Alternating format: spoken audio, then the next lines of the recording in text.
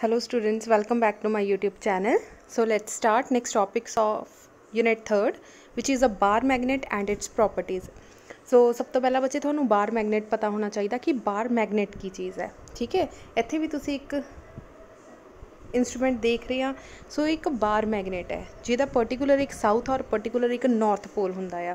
ਸੋ ਧਿਆਨ ਨਾਲ ਦੇਖੋ a bar magnet is a rectangular piece of a magnet ਇੱਕ ਰੈਕਟੈਂਗੂਲਰ ਪੀਸ ਹੁੰਦਾ ਆ magnet the having south and a north pole of equal strength equal strength ਮਤਲਬ ਬੱਚੇ, ਜਿੰਨਾ ਨਾਰਥ ਪੋਲ ਹੋਏਗਾ, ਉਨਾ ਹੀ ਪਾਰਟਿਕੂਲਰ ਸਾਊਥ ਪੋਲ ਹੋਏਗਾ, ਠੀਕ ਹੈ?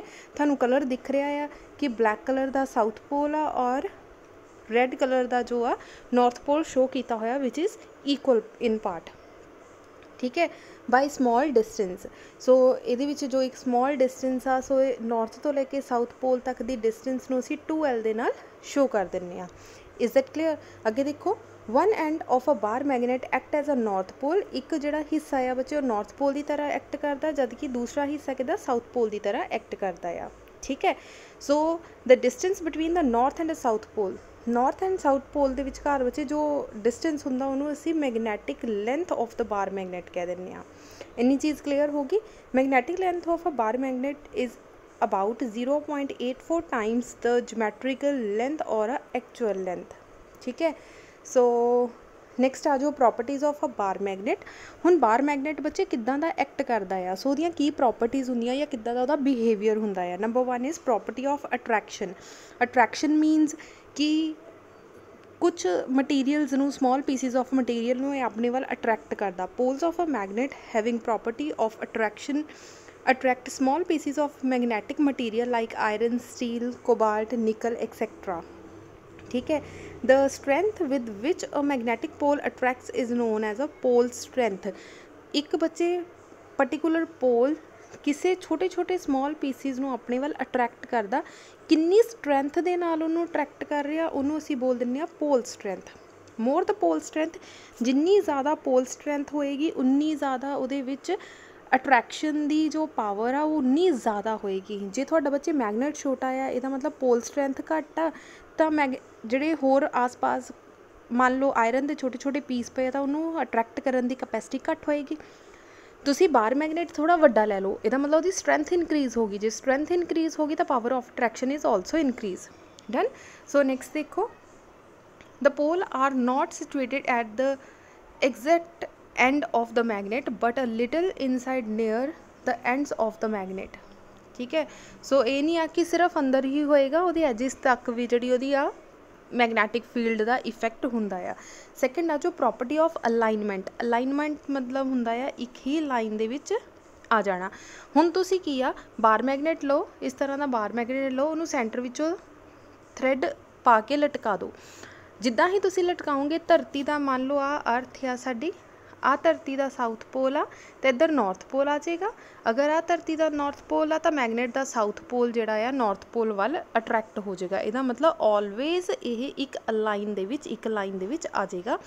ਠੀਕ ਹੈ? ਸੋ ਇੱਥੇ ਤੁਹਾਨੂੰ ਦਿਖਾਇਆ ਹੋਇਆ ਆ ਇਸ ਤਰੀਕੇ ਨਾਲ ਕਿ ਇਸ ਤਰੀਕੇ ਨਾਲ ਜਿਹੜੀ ਆ ਇੱਕ ਅਲਾਈਨਮੈਂਟ ਆ ਜਾਏਗੀ। ਠੀਕ ਹੈ ਜੀ? ਹੁਣ ਬੱਚੇ ਆ ਮੈਗਨੈਟਿਕ ਮਰੀਡੀਅਨ ਮੋਸਟ ਇੰਪੋਰਟੈਂਟ ਆ। ਸਮ ਟਾਈਮ ਬੱਚੇ ਅੱਗੇ ਜਾ ਕੇ ਆਪਾਂ ਪੜਾਂਗੇ ਮੈਗਨੈਟਿਕ ਮਰੀਡੀਅਨ ਤਾਂ ਬੱਚੇ ਪੁੱਛਦੇ ਆ ਮੈਮ ਮੈਗਨੈਟਿਕ ਮਰੀਡੀਅਨ ਕੀ ਹੁੰਦਾ? Line joining north and south pole of the magnet are called magnetic axis ਹੁਣ ਬੱਚੇ ਦੇਖੋ, ਤੁਹਾਨੂੰ ਸੈਂਟਰ ਵਿੱਚੋਂ ਲਾਈਨ ਦਿਖ ਰਹੀ ਆ ਪਾਸ ਹੁੰਦੀ? ਆ ਤੁਹਾਡਾ ਮੈਗਨੇਟ ਆ।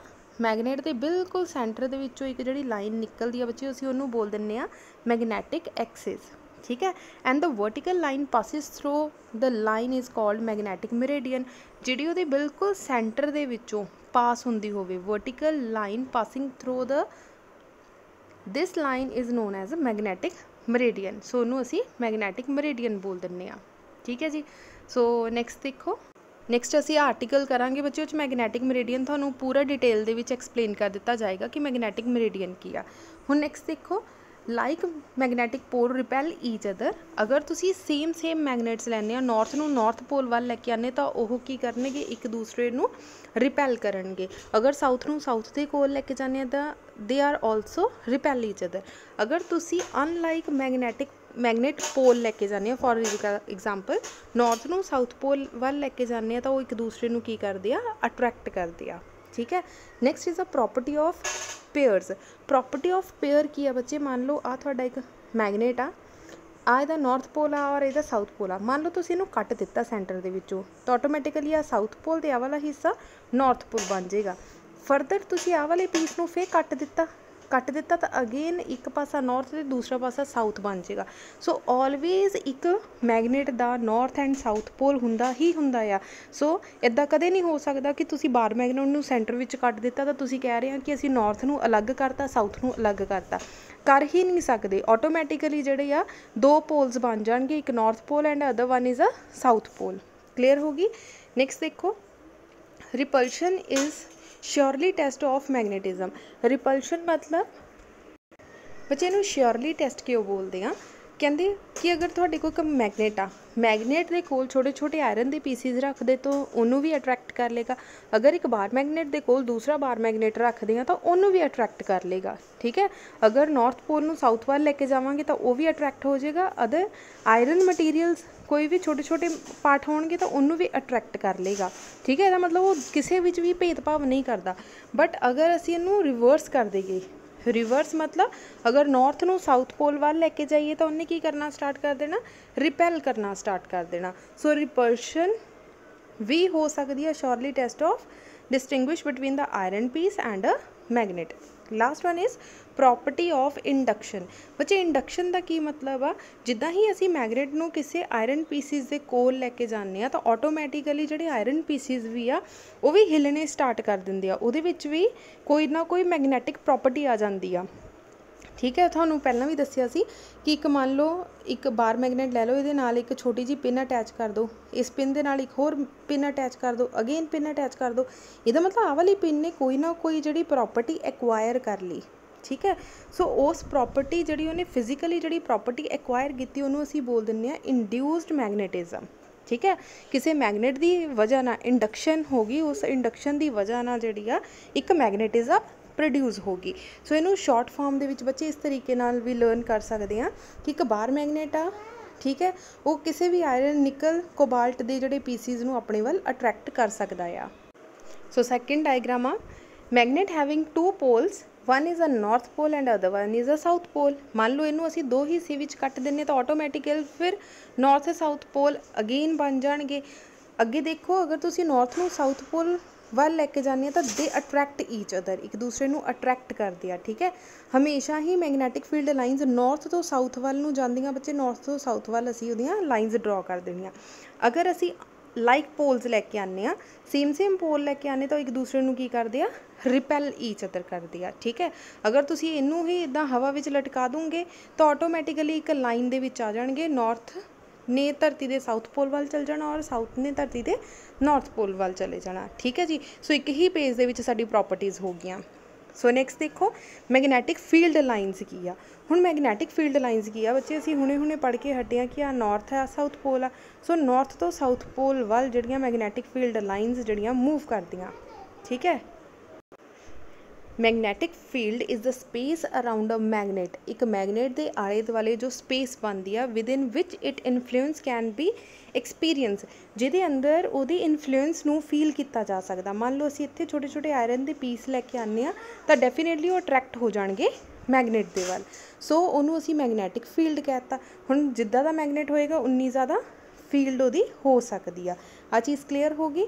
ਸੋ ਬੇਸਿਕਲੀ ਬੱਚੇ ਦੋ ਤਰ੍ਹਾਂ ਦੇ ਹੁੰਦੇ ਆ uniform magnetic field and non uniform magnetic field uniform magnetic field ਕੀ ਆ? ਜਿਹਦੀ ਹਰ ਪਾਸੇ ਇੱਕੋ ਜੀ ਹੀ ਯੂਨੀਫਾਰਮ ਮੈਗਨੈਟਿਕ ਫੀਲਡ ਹੋਵੇ, ਸਾਰੇ ਪਾਸੇ ਇੱਕੋ ਜੀ ਮੈਗਨੈਟਿਕ ਫੀਲਡ ਹੋਵੇ। ਉਹਨੂੰ ਯੂਨੀਫਾਰਮ ਮੈਗਨੈਟਿਕ ਫੀਲਡ ਕਹਿ ਦਿੰਦੇ। ਸੋ ਉਹਨੂੰ ਦੋ ਤਰ੍ਹਾਂ ਨਾਲ ਰਿਪਰੈਜ਼ੈਂਟ ਕੀਤਾ ਜਾ ਸਕਦਾ। ਇੱਕ ਕ੍ਰਾਸ ਦੀ ਤਰ੍ਹਾਂ, ਇੱਕ ਡਾਟ ਦੀ ਤਰ੍ਹਾਂ। ਹੁਣ ਕ੍ਰਾਸ ਦਾ ਮਤਲਬ ਕੀ ਆ? ਕ੍ਰਾਸ ਮਤਲਬ ਇਹ ਪਰਪੈਂਡੀਕੂਲਰ ਹੋ ਸਕਦੀ ਆ which is inward direction invert ਦਾ ਮਤਲਬ ਕੀ ਆ ਬੱਚੇ? ਜਿੱਦਾਂ ਹੁਣ ਤੁਸੀਂ ਆਪਣੇ ਹੱਥ ਵਿੱਚ ਮੋਬਾਈਲ ਪਕੜਿਆ ਹੋਇਆ, ਜਿਹੜਾ ਤੁਹਾਡੇ ਸਕਰੀਨ ਦਾ ਬੈਕ ਸਾਈਡ ਆ, ਪਿਛਲਾ ਜਿੱਥੇ ਤੁਸੀਂ ਕਵਰ ਚੜਾਉਂਦੇ ਆ, ਉਧਰ ਵਾਲੇ ਪਾਸੇ ਨੂੰ ਜੇ ਤੁਸੀਂ ਪੈਨ ਬਿਲਕੁਲ ਸਿੱਧਾ ਖੜਾ ਕਰ ਦੋਗੇ, ਇਹਦਾ ਮਤਲਬ ਇਨਵਰਡ ਮਤਲਬ ਬਾਹਰ ਵਾਲੇ ਪਾਸੇ ਨੂੰ ਆ। ਆਊਟਵਰਡ ਮਤਲਬ perpendicular to the magnetic field ਜਿੱਧਰ ਤੁਹਾਡੀ ਸਕਰੀਨ ਆ, ਉਹਦੇ ਬਿਲਕੁਲ ਉੱਪਰ ਵਾਲੇ ਪਾਸੇ ਸੋ ਮੰਨ ਲਓ ਤੁਹਾਡੇ ਫੇਸ ਵੱਲ ਨੂੰ ਐਰੋਜ਼ ਖੜੇ ਕਰ ਦਿਓ ਜਾਂ ਪੈਨ ਖੜੇ ਕਰ ਦਿਓ, ਉਹ ਹੋ ਗਿਆ ਆਊਟਵਰਡ ਡਾਇਰੈਕਸ਼ਨ ਕਲੀਅਰ ਹੋ ਗਿਆ, ਸੋ ਇਦਾਂ ਅਲੱਗ-ਅਲੱਗ ਤਰ੍ਹਾਂ ਨਾਲ ਅਸੀਂ ਇਹਨੂੰ ਮੈਗਨੈਟਿਕ ਫੀਲਡ ਨੂੰ ਸ਼ੋ ਕਰ ਸਕਦੇ ਹਾਂ। ਬੱਚੇ ਨਾਨ ਯੂਨੀਫਾਰਮ ਮੈਗਨੈਟਿਕ ਫੀਲਡ ਕੀ ਹੁੰਦੀ ਆ? ਕਿ ਹਰ ਪਾਸੇ ਇੱਕੋ ਜੀ ਮੈਗਨੈਟਿਕ ਫੀਲਡ ਨਾ ਹੋਣਾ। ਜਾਂ ਤਾਂ ਇਸ ਤਰੀਕੇ ਨਾਲ ਵੀ ਹੋ ਸਕਦੀ ਆ। ਦੇਖ ਲਓ ਸਾਰੀਆਂ ਲਾਈਨਸ ਇੱਕੋ ਜਿਹੀਆਂ ਨਹੀਂ ਆ ਜਾਂ ਕਰਵਡ ਵੀ ਹੋ ਸਕਦੀ ਆ। ਠੀਕ ਹੈ? ਸੋ ਇਹਨੂੰ ਅਸੀਂ ਨਾਨ ਯੂਨੀਫਾਰਮ ਮੈਗਨੈਟਿਕ ਫੀਲਡ ਬੋਲ ਦਿੰਦੇ ਆ so next is the properties of magnetic field lines these are also important ਇਹ 2 ਮਾਰਕਸ ਦਾ ਅਲੱਗ ਤੋਂ ਕੁਐਸਚਨ ਵੀ ਬਣ ਕੇ ਆ ਸਕਦਾ ਆ। Magnetic field lines are continuous and curved ਠੀਕ ਆ? ਕੰਟੀਨਿਊਸ ਹੁੰਦੀਆਂ ਆ। ਨਾਰਥ ਤੋਂ ਲੈ ਕੇ ਸਾਊਥ ਪੋਲ ਤੱਕ ਬੱਚੇ ਕੰਟੀਨਿਊਸਲੀ ਚੱਲਦੀਆਂ ਆ ਤੇ ਕਰਵਡ ਹੁੰਦੀਆਂ ਆ। ਠੀਕ ਹੈ? ਕਰਵਡ ਸਾਨੂੰ ਦਿਖ ਰਿਹਾ ਕਿ these are curved The tangent at any point on the magnetic field line gives a direction of strength of magnetic field ਮੰਨ ਲਓ ਅਸੀਂ ਅਸੀਂ ਇਸ ਪਾਰਟਿਕੂਲਰ ਪੁਆਇੰਟ ਦੇ ਉੱਪਰ ਟੈਂਜੈਂਟ ਬਣਾ ਰਹੇ ਹਾਂ ਇਸ ਤਰੀਕੇ ਨਾਲ, ਤਾਂ ਉਹ ਪਾਰਟਿਕੂਲਰ ਡਾਇਰੈਕਸ਼ਨ ਦੱਸੇਗਾ ਕਿ ਕਿੱਧਰੋਂ ਕਿੱਧਰ ਨੂੰ ਜਾ ਰਿਹਾ। ਮੰਨ ਲਓ ਤੁਸੀਂ ਹੁਣ ਇੱਥੇ ਪੁਆਇੰਟ ਲੈ ਰਹੇ ਹਾਂ ਤਾਂ ਡਾਇਰੈਕਸ਼ਨ ਇੱਧਰ ਨੂੰ ਆ ਜਾਏਗੀ, ਠੀਕ ਹੈ? ਅਗਰ ਇੱਥੇ ਲੈ ਰਹੇ ਆ ਆਪ ਉੱਪਰ ਵਾਲਾ ਪੁਆਇੰਟ ਲੈ ਰਹੇ ਹਾਂ ਤਾਂ ਡਾਇਰੈਕਸ਼ਨ ਇੱਧਰ ਨੂੰ ਆ ਜਾਏਗੀ। ਕਲੀਅਰ ਹੋ ਗਿਆ? ਸੋ ਇੱਕ ਪਾਰਟਿਕੂਲਰ ਪੁਆਇੰਟ ਤੇ ਟੈਂਜੈਂਟ ਹੁੰਦਾ। ਟੈਂਜੈਂਟ ਦਾ ਕੀ ਮਤਲਬ ਹੁੰਦਾ ਆ? ਪੂਰੀ ਲਾਈਨ 'ਚ ਸਿਰਫ ਇੱਕ ਪੁਆਇੰਟ ਤੇ ਜਸਟ ਟੱਚ ਕਰ ਰਿਹਾ ਆ, ਠੀਕ ਹੈ? Two magnetic field line do not intersect with each other ਬੱਚੇ ਇਲੈਕਟ੍ਰਿਕ ਫੀਲਡ ਵਿੱਚ ਵੀ ਮੋਸਟ ਇੰਪੋਰਟੈਂਟ ਸੀ। ਦੋ ਇਲੈਕਟ੍ਰਿਕ ਫੀਲਡ ਲਾਈਨਸ ਜਾਂ ਮੈਗਨੈਟਿਕ ਫੀਲਡ ਲਾਈਨਸ ਆਪਸ ਵਿੱਚ ਇੰਟਰਸੈਕਟ ਕਿਉਂ ਨਹੀਂ ਕਰ ਸਕਦੀਆਂ ਟਕਰਾ ਕਿਉਂ ਨਹੀਂ ਸਕਦੀਆਂ? ਇਹਦਾ ਮਤਲਬ ਪੀ ਪੁਆਇੰਟ ਦੇ ਉੱਪਰ, ਇਸ ਪੀ ਪੁਆਇੰਟ ਦੇ ਉੱਪਰ ਦੋ ਟੈਂਜੈਂਟਸ ਆ। ਇਹਦਾ ਮਤਲਬ ਇੱਥੇ ਦੋ ਡਾਇਰੈਕਸ਼ਨਸ ਹੋਣਗੀਆਂ ਬਟ ਦੋ ਡਾਇਰੈਕਸ਼ਨਸ ਤਾਂ ਹੋ ਹੀ ਨਹੀਂ ਸਕਦੀਆਂ ਵਿਚ ਇਜ਼ ਨਾਟ ਪੋਸੀਬਲ ਠੀਕ ਹੈ? ਨੈਕਸਟ ਦੇਖੋ widely space field lines represent weak magnetic field widely space ਮਤਲਬ ਜਦੋਂ ਤੁਸੀਂ ਬਹੁਤ ਸਾਰੀ ਬਣਾ ਦਿੰਦੇ ਆ ਵਾਈਡਲੀ ਸਪੇਸ ਹੋ ਗਿਆ ਇੱਥੇ ਵੀਕ ਮੈਗਨੈਟਿਕ ਫੀਲਡ ਹੁੰਦੀ ਆ ਇੱਥੇ ਸੰਘਣੀਆਂ ਮੈਗਨੈਟਿਕ ਫੀਲਡ ਲਾਈਨਸ ਆ ਤੇ ਇੱਥੇ ਸਟਰੋਂਗ ਮੈਗਨੈਟਿਕ ਫੀਲਡ ਲਾਈਨਸ ਹੋਣਗੀਆਂ ਨੈਕਸਟ ਦੇਖੋ magnetic field line literally but contract longitudinally ਠੀਕ ਹੈ ਸੋ ਮੈਗਨੈਟਿਕ ਫੀਲਡ ਲਾਈਨ ਜਿਹੜੀ ਆ ਕੰਟਰੈਕਟ ਕਰ ਜਾਂਦੀ ਆ ਲੌਂਗੀਟਿਊਡਨਲੀ ਮਤਲਬ ਇਸ ਪੁਆਇੰਟ ਦੇ ਉੱਪਰ ਠੀਕ ਹੈ so they represent a magnetic field which are real so magnetic field line are not real ਅਸਲ ਵਿੱਚ ਤਾਂ ਇਹ ਸਾਨੂੰ ਦਿਖਾਈ ਨਹੀਂ ਦਿੰਦੀਆਂ। ਅਗਰ ਤੁਸੀਂ ਆਪਣੇ ਅੱਖਾਂ ਦੇ ਸਾਹਮਣੇ ਮੈਗਨੇਟ ਰੱਖ ਦੋਗੇ, ਤਾਂ ਮੈਗਨੈਟਿਕ ਫੀਲਡ ਲਾਈਨਸ ਬੱਚੀਆਂ ਦਿਖਾਈ ਨਹੀਂ ਦਿੰਦੀਆਂ। ਬਟ ਦੇ ਰਿਪਰੈਜ਼ੈਂਟ ਬਟ ਉਹਨਾਂ ਨੂੰ ਰਿਪਰੈਜ਼ੈਂਟ ਇਦਾਂ ਕੀਤਾ ਜਾਂਦਾ ਆ ਕਿ ਕਿ ਉਹ ਰੀਅਲ ਲਾਈਨਸ ਹੈ। ਠੀਕ ਹੈ? ਸੋ ਇਦਾਂ ਦੀ ਤੁਸੀਂ ਡਾਇਗ੍ਰਾਮ ਬਣਾ ਸਕਦੇ ਹੋ ਕਿ ਨਾਰਥ ਤੋਂ ਸਾਊਥ ਪੋਲ ਵੱਲ ਧਿਆਨ ਨਾਲ ਦੇਖੋ। ਨਾਰਥ ਤੋਂ ਸਾਊਥ ਪੋਲ ਵੱਲ ਜਿਹੜੀ ਮੈਗਨੈਟਿਕ ਫੀਲਡ ਲਾਈਨਸ ਜਾ ਰਹੀਆਂ। ਨਾਰਥ ਤੋਂ ਮੈਗਨੈਟਿਕ ਫੀਲਡ ਲਾਈਨਸ ਬਾਹਰ ਨਿਕਲ ਰਹੀਆਂ ਤਾਂ ਧਿਆਨ ਨਾਲ ਦੇਖ ਲਓ, ਬਾਹਰ ਵੱਲ ਨੂੰ ਡਰਾ ਕੀਤੀ ਹੋਈ ਹੈ ਲਾਈਨਸ। ਠੀਕ ਆ? ਸਾਊਥ ਵਿੱਚ ਅੰਦਰ ਆ ਰਹੀ ਹੈ ਤਾਂ ਸਾਊਥ ਦੇ ਅੰਦਰ ਚਲੀ ਜਾਏਗੀ। ਸੋ ਇਸ ਚੀਜ਼ ਦਾ ਧਿਆਨ ਰੱਖਣਾ ਬੱਚੇ। ਸਿਮਿਲਰਲੀ ਅਗਰ ਤੁਸੀਂ ਡਾਇਗਰਾਮ ਨੂੰ ਉਲਟਾ ਦਿੰਨੇ ਆ, ਇੱਧਰ ਨਾਰਥ ਪੋਲ ਬਣਾ ਦਿੰਨੇ ਇੱਧਰ ਸਾਊਥ ਤਾਂ ਮੈਗਨੈਟਿਕ ਫੀਲਡ ਲਾਈਨਸ ਇੱਧਰ ਨੂੰ ਆ ਜਾਣਗੀਆਂ। ਠੀਕ ਹੈ ਸੋ ਅਗਰ ਨਾਰਥ ਇੱਧਰ ਆ ਸਾਊਥ ਇੱਧਰ ਆ, ਤਾਂ ਬੱਚੇ ਮੈਗਨੈਟਿਕ ਫੀਲਡ ਲਾਈਨਸ ਇੱਧਰ ਨੂੰ ਜਾ ਰਹੀਆਂ। ਅਗਰ ਨਾਰਥ ਉਲਟਾ ਬਣਾ ਦਿੱਤਾ ਤਾਂ ਨਾਰਥ ਤੋਂ ਸਾਊਥ ਇਸ ਤਰੀਕੇ ਨਾਲ ਬਣਾ ਸਕਦੇ ਆ ਤੁਸੀਂ। ਬੱਚੇ ਸਿੰਪਲ ਜੀ ਇੱਕ ਡਾਇਗਰਾਮ ਆ। ਧਿਆਨ ਨਾਲ ਦੇਖੋ, ਇੱਥੇ ਵੀ ਇਦਾਂ ਹੀ ਆ ਨਾਰਥ ਟੂ ਸਾਊਥ ਪੋਲ ਵੱਲ ਮੈਗਨੈਟਿਕ ਫੀਲਡ ਲਾਈਨਸ ਜਾ ਰਹੀਆਂ but inward south to north pole ਵੱਲ ਮੈਗਨੈਟਿਕ ਫੀਲਡ ਹੁੰਦੀ। ਸਮ ਟਾਈਮ ਐਮਸੀਕਿਊਜ਼ ਜਾਂ ਫਿਲਿੰਗ ਦ ਬਲੈਂਕ ਦੇ ਵਿੱਚ ਪੁੱਛਿਆ ਜਾ ਸਕਦਾ ਕਿ ਇਨਸਾਈਡ ਮੈਗਨੈਟਿਕ ਫੀਲਡ ਕਿੱਧਰ ਨੂੰ ਹੁੰਦੀ ਆ direction then south to north ਅਗਰ ਆਊਟਸਾਈਡ ਪੁੱਛੀ ਜਾਵੇ ਤਾਂ ਨਾਰਥ ਟੂ ਸਾਊਥ ਅਗਰ ਤੁਸੀਂ ਆਪੋਜ਼ਿਟ ਲੈ ਲੈਂਦੇ ਆ ਪੋਲਸ ਨਾਰਥ ਤੇ ਸਾਊਥ ਪੋਲ ਤਾਂ ਨਾਰਥ ਤੋਂ ਸਾਊਥ ਪੋਲ ਵੱਲ ਇਸ ਤਰ੍ਹਾਂ ਨਾਲ ਅਟਰੈਕਟ ਕਰਦੀਆਂ ਅਗਰ ਸੇਮ ਸੇਮ ਲੈ ਲੈਂਦੇ ਆ ਤਾਂ ਰਿਪੈਲ ਕਰਦੀ ਆ ਕਲੀਅਰ ਹੋ ਗਈ? ਸਿੰਪਲ ਜੀ ਡਾਇਗਰਾਮ ਆ। ਜਸਟ ਸਮਝਾਉਣ ਦੇ ਲਈ ਤੁਹਾਨੂੰ ਦਿਖਾਈ ਜਾ ਰਹੀ ਹੈ ਇਹ ਡਾਇਗਰਾਮ ਕਿਸ ਤਰ੍ਹਾਂ ਨਾਲ ਮੈਗਨੈਟਿਕ ਫੀਲਡ ਲਾਈਨਸ ਨੂੰ ਸ਼ੋ ਕੀਤਾ ਜਾ ਸਕਦਾ। ਸੋ ਇਸ ਪੂਰੇ ਆਰਟੀਕਲ ਦੇ ਵਿੱਚ ਬੱਚੇ ਕਿਸੇ ਵੀ ਪੁਆਇੰਟ ਤੇ ਤੁਹਾਨੂੰ ਕੋਈ ਦਿੱਕਤ ਹੋਵੇ ਜਾਂ ਕੁਝ ਨਾ ਸਮਝ ਲੱਗਿਆ ਹੋਵੇ ਤਾਂ ਤੁਸੀਂ ਪੁੱਛ ਸਕਦੇ ਆ ਥੈਂਕ ਯੂ ਸੋ ਮੱਚ